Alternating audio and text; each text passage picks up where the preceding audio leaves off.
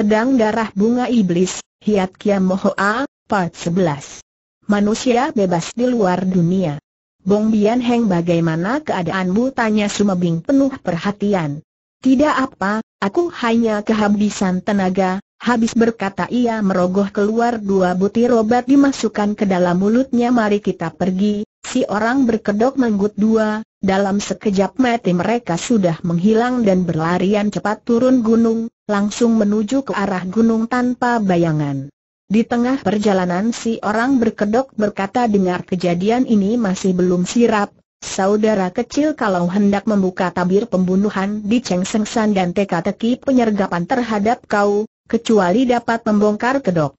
Asli ketua BWEHWAHWE, maka tiada kepikir untuk kau main tebak apa segala, wajah aslinya atau asal-usul ketua BWEHWAHWE masa tiada seorang pun yang tahu di dunia persilatan mungkin begitu termasuk anak buahnya itu soal lain lagi.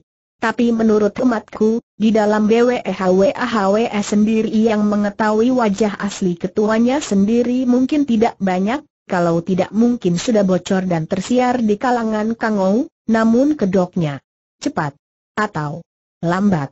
Pasti harus dibongkar. Ketua BWEHWAHWS sekali ini telah salah perhitungan, mengapa menurut penilaiannya mungkin dia anggap kita berdua sudah terluka berat, kalau merat pun takkan dapat berjalan, maka dia hanya perintahkan anak buahnya untuk mengadakan razia besar duaan, sedang dia sendiri tidak ikut muncul kalau tidak, mungkin saat ini kita sukar lolos dari lubang maut, itu pun belum tentu, kalau kemarin aku tidak terlalu bernafsu dan dekat, tidak sampai sedemikian mengenaskan kekalahanku tiga hari kemudian, mereka tiba di atas sebuah puncak tinggi yang menembus langit. Menunjuk lautan awan di depannya yang tidak berujung pangkal si orang berkedok berkata, di sanalah letak gunung tanpa bayangan itu, tanpa terasa Sumebing mengerut kening, katanya, mana, sedikit pun aku tidak melihat. Kalau sudah dinamakan tanpa bayangan, sudah tentu sampai bayangannya pun tidak begitu gampang dapat ditemukan orang.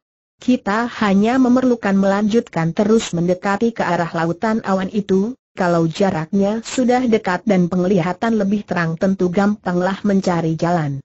Tapi watak manusia bebas di luar dunia ini sangat aneh di luar kesopanan. Sumabing tersenyum mewah, katanya, Masa dia lebih aneh dari guruku Lam Sin KHOJ yang sifat sesat suhumu kesohor karena dia paling menentang adat istiadat atau kebiasaan umum, namun sedikit banyak ia masih mau bicara tentang kebenaran. Lain dengan manusia bebas dari dunia luar ini, saking aneh dia tidak mengenal apa yang dinamakan kebenaran, peduli apa, pendek kata kita harus mendapatkan rumput ular itu, Begitulah dengan cepat mereka telah mendekati dan mulai tiba di lautan awan, mereka langsung menerobos terus ke tengah. Dengan kekuatan tenaga Wekang Sumebing matanya dapat melihat terang dalam jarak 10 tombak, di luar jarak itu hanya remang dua, maka mereka harus menggeremet maju perlahan dua. Setengah jam kemudian si orang berkedok menunjuk sebuah bukit batu yang kelihatan remang dua dan berkata, itulah di sana, Mari kita naik ke sana berkobar dua semangat Sumabing, segera ia mendahului berlari mendaki ke arah bukit batu itu. Baru saja mereka tiba di lamping bukit, sekonyong dua terdengar sebuah suara berat dan keras membentak, siapa itu, berhenti segera Sumabing hentikan langkahnya, waktu ia angkat kepala terlihat seorang tua baju kuning, rambut dan jenggot serta alisnya sudah beruban, berduduk tenang di atas sebuah batu yang menonjol. Tersipu dua si orang berkedok maju memberi hormat serta berkata hormat. Wampu orang tua baju kuning tertawa dingin dan menukas ucapan si orang berkedok, kalau kalian tahu diri lekas menggelinding pergi ke bentur kekerasan orang, si orang berkedok menjadi tertegun dan melongo di tempat tempatnya tanpa mampu mengeluarkan suara lagi. Adalah Sumebing malah berpikir, kalau dia menamakan orang aneh, buat apa bicara segala kesopanan apa segala, maka segera ia maju dua langkah, suaranya pun tidak kalah dingin dan ketusnya, apa tuan ini yang bernama si Gewe Asian Jin orang tua baju kuning agaknya melengak karena sikap kasar Sumebing ini, Kedua matanya menyorotkan sinar dingin menatap ke wajah Sumabing, lama dan lama kemudian baru ia membuka mulut, kau menyebut aku sebagai apa-apa tidak tepat berapa umurmu sekarang umur? Dalam bulim mengutamakan peribudi, buat apa mempersoalkan usia orang bocah kurang ajar, kau dari perguruan mana Tuan sendiri belum menjawab pertanyaanku. Huh, memang aku inilah si Gwe Asian Jin, kalau begitu akulah Sumabing, guruku adalah Siasin KHO Jiang, berubah air muka si Gwe Asian Jin, tanyanya, kau adalah murid KHO Losia benar, tak heran sifatmu nyeleweng, untuk apa kau datang kemari? Konon Chuan mempunyai sepucuk pohon rumput ular, tuk itulah aku datang kemari supaya diberi sedikit.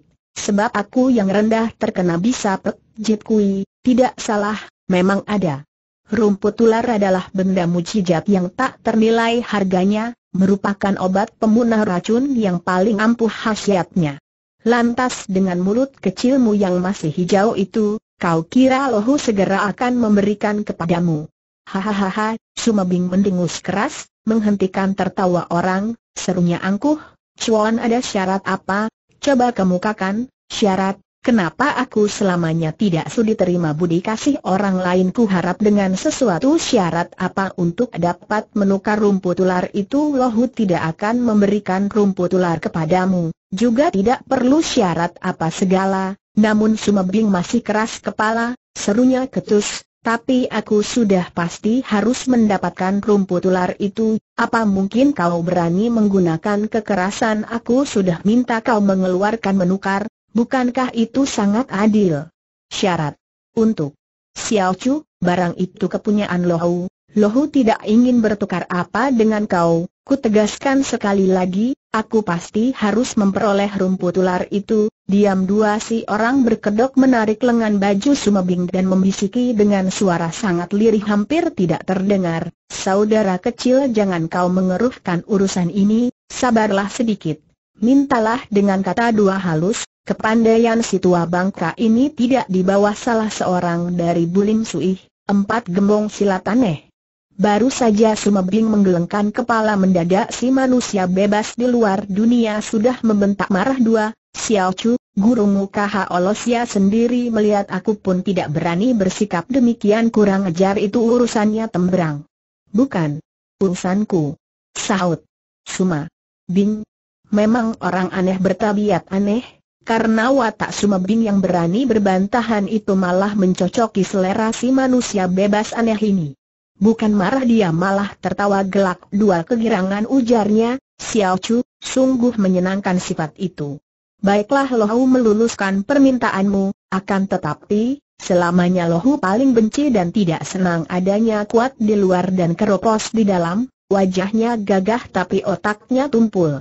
Begini saja, kalau kau kuat menahan tiga kali pukulanku, rumput ular boleh kau bawa pergi, kalau sebaliknya gunung tanpa bayangan ini adalah tempat keramat, tidak bakal kubiarkan orang seenaknya pergi datang, mau tak mau Sumebing harus berpikir, sudah pasti dirinya harus mendapatkan rumput ular itu atau jiwanya takkan hidup lewat seratus hari, mati atau hidup sudah ditakdirkan oleh Tuhan, buat apa aku main sangsi atau ragu?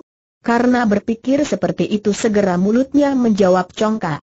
Apa hanya menyambuti tiga kali pukulan busi Gwe Asian Jin menarik muka, air mukanya mengelam desisnya, Xiao Chu, tiga pukulan itu bukan saja menentukan mati hidupmu, juga menentukan nasib kawan karibmu itu, Terkesiap dah Sumabing mendengar keterangan itu mati hidup dirinya tidak perlu dibuat sayang, tapi kalau sampai meremit keselamatan si orang berkedok, bagaimanapun hatinya tidak tega, maka segera ia memutar tubuh berkata kepada si orang berkedok, Bong Bian Heng, dengan setulus hatiku minta sukalah kau sekarang juga meninggalkan tempat ini. Tanpa ragu dua si orang berkedok segera saudaraku, kau tahu aku tidak akan pergi menjawab. Namun kalau terjadi tentu aku tidak sesalkan kau apa boleh buat Sumebing menggeleng kepala. Sedemikian besar budi si orang berkedok menolong jiwanya, tak urung dalam hati ia berkata, Saudara tua, terlalu banyak aku berhutang budi kepadamu. Saat mana si manusia bebas telah melompat turun dari batu menonjol itu dan berdiri tegak di hadapan Sumabing, ia tanya menegas, Xiao Chu, kau sudah pastikan belum Sumabing mengertak gigi, sahutnya, Selamanya aku maju tidak mengenal mundur mati pun kau tidak penasaran. Ku rasa terlalu pagi mempersoalkan itu, baiklah sambutlah jurus pertama ini, baru saja suaranya lenyap, sepasang tangan manusia bebas telah bergerak dua menjojoh ke depan. Segera Sumebing merasa bahwa pukulan lawan ternyata sangat aneh lain daripada yang lain, perubahannya sukar dijajaki, sukar pula untuk ditangkis atau memunahkannya, lagi pula begitu dilancarkan serangannya segera merangsang tiba. Sedikit pun tidak memberi kesempatan dirinya banyak berpikir. Maka serta-merta ia lancarkan sejurus Pikbun Cia KHE, menutup pintu menampik tamu, menjaga diri menutup jalan darah. Bum jurus belum mampu seperti dipukul terhuyung lima mulutnya. Pitbun Cia KHE Sumabing ternyata masih menahan serangan lawan, seketika dadanya godam, Sambil meraung kesakitan tubuhnya langkah, darah hampir menyembur keluar dari. Tanpa tertahan si orang berkedok pun berseru kaget. Si manusia bebas tertawa dingin, ia mundur satu langkah sembari berkata, sekarang sambutlah jurus kedua, dua tangannya terayun lagi, gelombang angin pukulannya bagai gugur gunung menerjang dahsyat ke arah Sumabing. Sumabing mengertak gigi, Seluruh kekuatan Kiu Yang Sin Kang tersalurkan di kedua telapak tangannya menyambut pukulan lawan secara keras. Benturan keras menggelegar memekakkan telinga, awan terapung di sekitar mereka ikut tergulung menyiak keempat penjuru, saking dahsyat benturan pukulan mereka, batu dua gunung pun berguguran. Tubuh si Gwe Asian Jin bergoyang gontai akhirnya terhuyung mundur satu tindak, wajah tuanya berubah merah padam membeku. Sumabing sendiri kontan jatuh terjerembab duduk di atas tanah, dua baris darah segar meleleh keluar dari ujung mulutnya, air mukanya pucat pias sangat mengenaskan. Si orang berkedok mengeluh dalam hati. Sekarang Sumabing sudah terluka berat, bagaimanapun takkan mampu menyambuti pukulan ketiga, baru saja ia hendak maju membantu, Sumabing sudah terhuyung dua bangkit dan bertindak maju tiga langkah, Suaranya gemetar hampir tak terdengar, silahkan lancarkan jurus ketiga, tak urung si Gwe Asian Jin tergerak sanubarinya, serunya dengan nada berat, Buyung, kau mempertaruhkan jiwamu harap Chuan segera turun tangan, teriak Sumabing geram. Si Gwe Asian Jin mengangguk kepala, kedua tangannya bergerak. Saudara kecil, sudahlah, mari kita turun gunung, seru orang berkedok lesu penuh kepedihan. Tidak sahut Sumebing tegas. Inilah jurus ketiga bentak si Gwe Asian Jin. Kedua tangannya disodokkan keras dua. Damparan angin badai lebih deras menyambar bagai guntur seperti hujan badai. Cepat dua si orang berkedok memalingkan muka, tak kuat hatinya menyaksikan sahabatnya mati konyol. Dalam pada itu Sumebing juga sudah himpun seluruh sisa tenaganya, kedua tangannya pun menyapu ke depan menyambuti pukulan musuh secara keras. Bum di tengah suara mengguntur dari benturan dua tenaga dahsyat, tubuh Sumebing terbang bagai layang dua yang putus benangnya, darah berhamburan di tengah udara. Belang tubuhnya melurus jatuh ke atas tanah kebentur batu gunung. Sekali berkelebat gesit sekali si orang berkedok menubruk maju hendak menolong. Berhenti segera si orang berkedok menghentikan langkah, dan tanyanya gemetar, apa maksud Ciampu dia sudah kalah ya?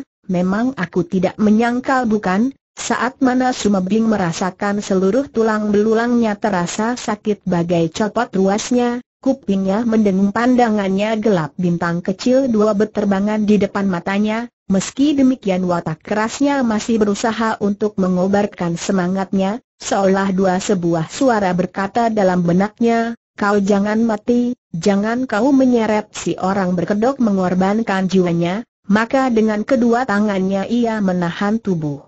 Ia berusaha berlutut lalu punggung mengelendot di batu gunung perlahan dua bangkit berdiri. Saudara kecil, kau seru si orang berkedok dengan suara gemetar. Si Gwe Asian Jin pun tidak ketinggalan berseru kaget, rambut dan jenggotnya bergerak dua bahna heran dan kagumnya melihat kebandelan si bocah muda ini.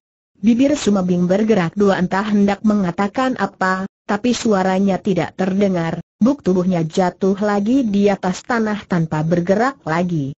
Bukan kepalang kaget si orang berkedok, cepat dua ia menubruk maju dengan tangannya dirabanya denyut nadi darah Sumabing, sekarang baru lega hatinya. Namun bila teringat ucapan yang pernah diucapkan oleh manusia bebas tadi hatinya pilu.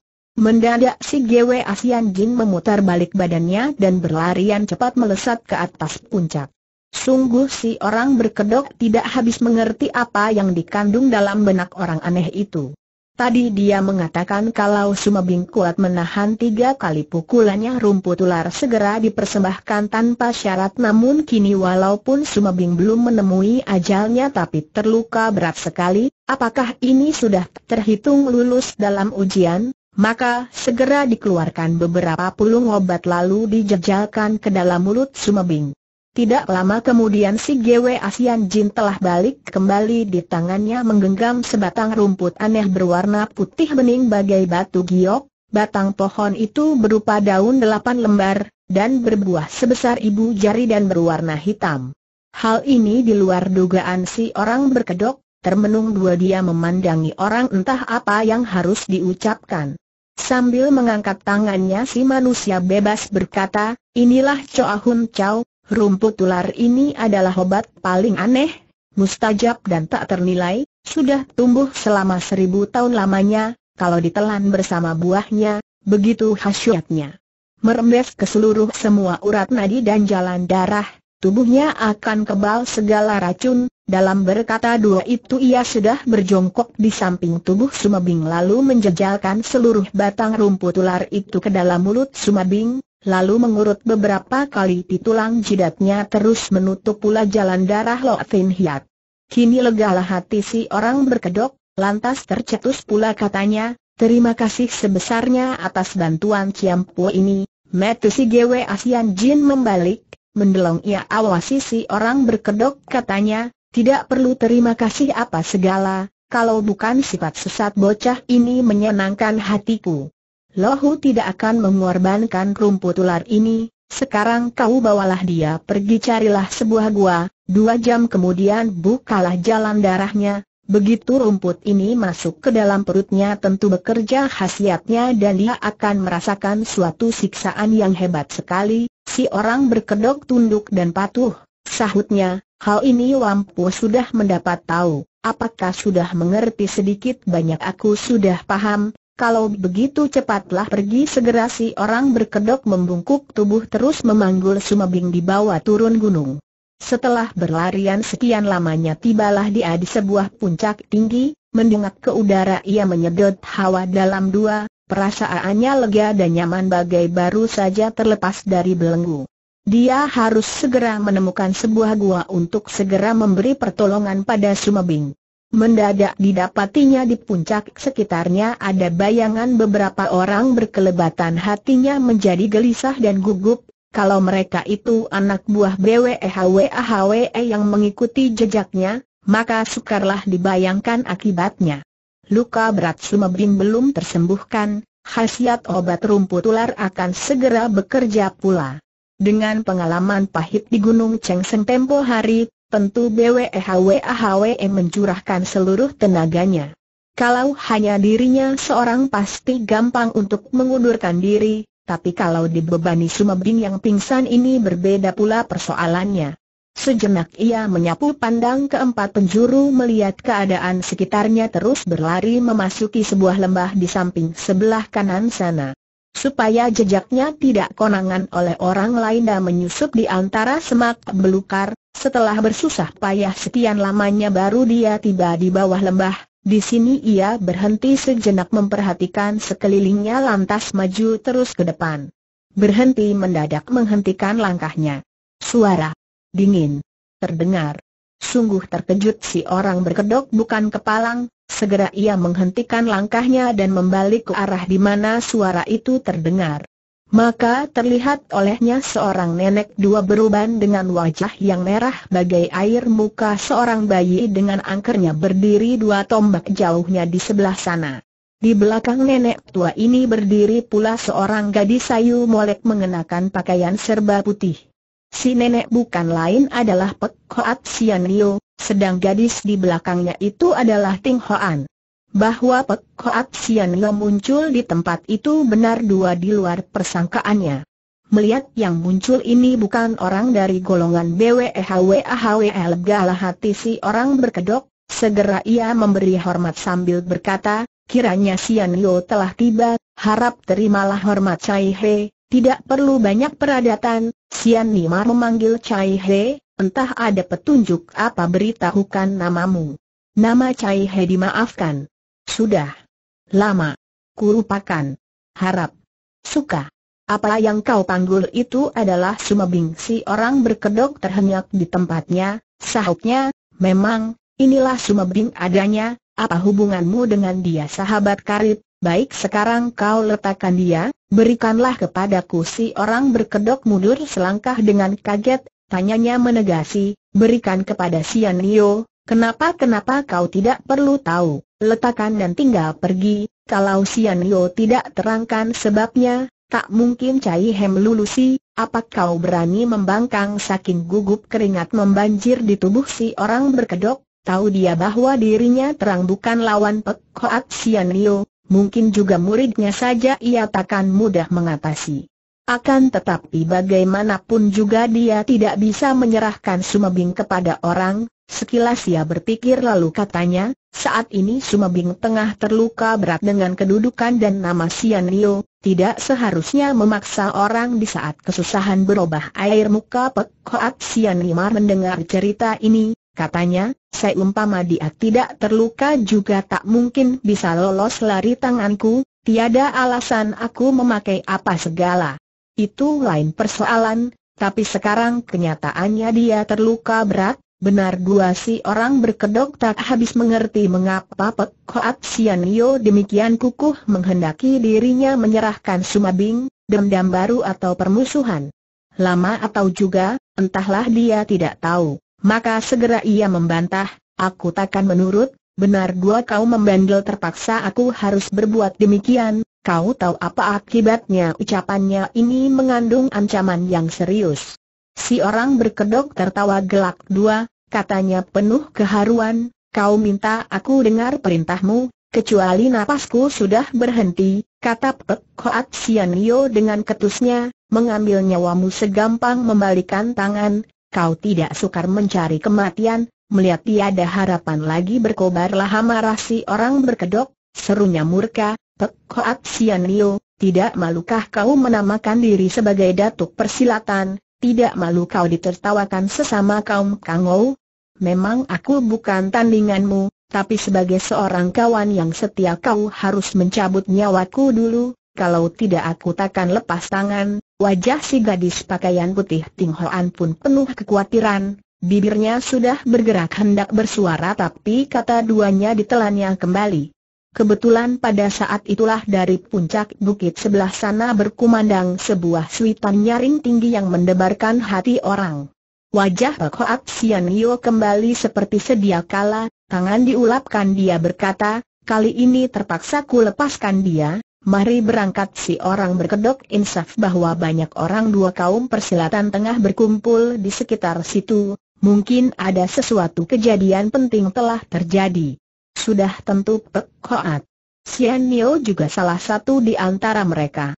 Bermula disangkanya orang dua BWEHWAHWE yang menguntit dirinya, sekarang kenyataan membuktikan bahwa prasangkanya tadi salah. Dalam saat ini dia tidak perlu tahu mengapa gembong dua persilatan itu berkumpul di sini yang penting ia memikul tugas menyelamatkan jiwa Sumabing maka cepat dua ia berlari semakin dalam ke arah lembah. Tidak lama kemudian ia menemukan sebuah gua, Bergegas ia menerobos masuk lalu merebahkan Sumebing di atas tanah. Dihitung dua waktunya kira dua tepat dua jam sejak ia meninggalkan tempat si Gwe Asian Jin. Tanpa menunda dua lagi segera ia menutup jalan darah Hek Thin Hiat di tubuh Sumabing, lalu duduk di luar gua berjaga dua.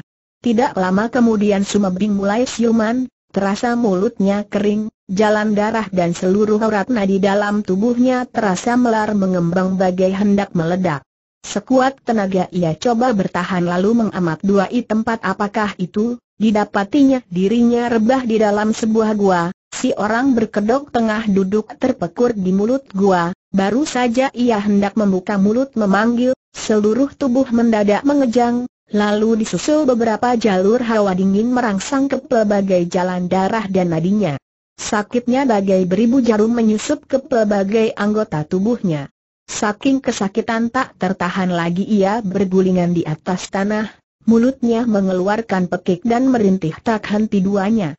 Bagai tidak mendengar apa dua si orang berkedok tetap tenang duduk di mulut gua. Kira dua setanakan nasi kemudian suara Sumebing sudah serak dan tak kuasa lagi bergerak, ia rebah terlentang lemas di dalam gua. Segera si orang berkedok merogoh keluar tiga butir obat semua dijejalkan ke dalam mulutnya, lalu secepat kilat beruntun ia menutup 36 jalan darah penting di seluruh tubuh Sumebing.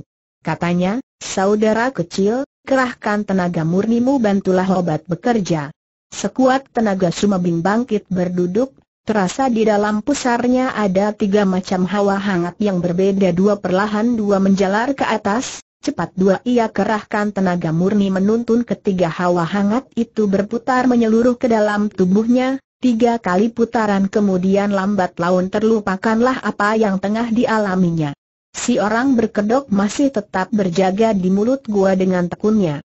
Kalau di sekitar pegunungan situ terang muncul jejak gembong dua silat yang tak terhitung banyaknya, tentu ada kemungkinan mereka bisa menerjang datang kemari, keadaan Sumebing tengah mencapai tingkat yang paling gawat tidak boleh terganggu oleh apa pun yang bisa mengagetkan. Sebuah suitan nyaring bergema lama di tengah udara, tak berapa lama kemudian dari empat penjuru angin terdengar juga penyambutan suitan yang riuh rendah, apa yang tengah terjadi itu benar dua membuat pendengarnya tegang dan merinding. Yang lebih mengejutkan bahwa suitan nyaring tadi terdengar di atas puncak di mana si orang berkedok dan Sumebing tengah bersembunyi di dalam gua. Setelah siapnya berbagai suitan tadi lalu disusul suara bentakan yang bergantian. Terang kalau di puncak bukit itu tengah terjadi suatu pertempuran dahsyat, tapi entah peristiwa apa yang telah terjadi. Si orang berkedok nanar memandang keluar gua. Hatinya pedih dan risau, bergantian ia pun mengawasi keadaan Sumebing. Sebuah suara pekik panjang menggiriskan menyadarkan renungan si orang berkedok, jelas bahwa sudah ada yang terluka atau mati dalam pertempuran di atas bukit itu. Tak lama kemudian disusul lagi sebuah teriakan panjang bergema dalam lembah itu sebuah bayangan manusia meluncur dari atas bukit bagai meteor jatuh. Tanpa terasa merinding bulu kuduk orang berkedok dengan penuh perhatian ia menunggu apa yang bakal terjadi. Bumbayangan hitam itu berdentam terbanting beberapa tombak jauhnya dari gua sana terus tak bergerak lagi. Si orang berkedok menghela napas panjang, Gumamnya, oh, kiranya sebuah mayat entah siapa yang memukulnya jatuh ke dalam lembah, siapakah orang yang mati itu meski hatinya ingin tahu dan penuh curiga, tapi dia tidak berani meninggalkan gua untuk pergi memeriksa, keadaan Sumebing sudah mencapai titik gawat yang terakhir keselamatan orang menjadi tanggung jawabnya. Belang lagi dua sebuah mayat terkapar jatuh di luar gua karena agak dekat si orang berkedok dapat melihat tegas siapa mayat itu, hampir saja ia berseru kaget sebab dari pakaiannya yang bercorak aneh itu diketahuinya bahwa si korban ini adalah gembong penjahat yang sudah biasa malang melintang di tujuh provinsi selatan yaitu Go J Bin Eng Lupet. Luekang dan kepandaian Elang Sakti Panca Warna ini merupakan tokoh terkemuka di kalangan Kango tapi toh kena dirobohkan dan terbanting mampus di dalam jurang, maka dapatlah dibayangkan orang dua yang bertempur di atas bukit itu tentu bukan gembong dua silat sembarang tingkat. Jelas yang diketahui Pek Hoat Sian adalah salah satu di antaranya. Suara bentakan nyaring masih berulang dua terdengar, Seng Surya sudah mulai doyong ke barat, keadaan dalam lembah sudah mulai remang dua, pada saat itulah Sumebing sudah selesai dalam pengobatannya, bergegas ia melompat bangkit dari atas tanah. Sungguh girang si orang berkedok sukar dilukiskan dengan kata dua, tersipu dua ia maju menyongsong sambil berseru girang, saudara kecil, ku beri selamat kepadamu, Sumebing maksudmu. Melengak. Katanya. Selamat. Apakah? Luekangmu sudah pulih menyeluruh, malah tubuhmu kini tidak takut lagi menghadapi segala racun berbisa, hal ini selalu merupakan keinginan semua kaum persilatan yang susah dicapai, aku tidak mengerti apa yang kau maksud si Gwe Asian Jin telah menjejalkan seluruh batang rumput ular bersama buahnya kepadamu, maka bukan saja racun Pek Jikui yang mengeram dalam tubuhmu sudah punah sama sekali, malah sejak kini tubuhmu menjadi kebal dan tidak takut lagi pada segala racun berbisa, lalu si orang berkedok bercerita secara ringkas. Bong Bian Heng, lagi dua aku berhutang budi yang susah dapat ku balas saudara kecil, tak usah kau mengambil dalam hati semua urusan kecil itu, mungkin juga pada suatu hari kelak lebih banyak permintaan bantuanmu kepadaku, eh, suara apakah itu di atas puncak itu tengah terjadi pertempuran sengit, terjadi peristiwa apakah entahlah, Pek Hoat Sian Yo dan muridnya pun di antara mereka, Malah ada dua mayat manusia yang terjatuh di luar gua sana. Mendengar nama Pek Hoat Sian Yo berkobarlah amarah Sumabing, segera ia berseru, mari kita coba lihat ke atas, saudara kecil, Pek Hoat Sian Yo agaknya ada permusuhan apa dengan kau. Sebelum memasuki lembah ini tanpa disangka dua kita pernah bertemu, dengan keras dia minta supaya kau diserahkan kepadanya, aku berkukuh tak melulusi, untung sebuah suitan panjang menggugah maksudnya semula, aku sendiri juga belum jelas sebab musababnya, tapi teka-teki ini akhirnya pasti harus kupecahkan. Begitu mereka keluar gua kedua mayat itu masih menggeletak di sana, salah seorang adalah seorang laki dua pertengahan umur yang mengenakan jubah sutra panjang. Seorang yang lain adalah seorang tua yang berpakaian serba ungu di depan dadanya tersulam sekuntum bunga besar warna hitam.